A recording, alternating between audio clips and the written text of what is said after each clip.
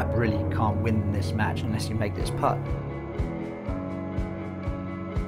I just remember visualizing it over and over and over and over again. And it was how the ball fell off that mound was very, very important in terms of keeping it on line. And I guess I chose the right one.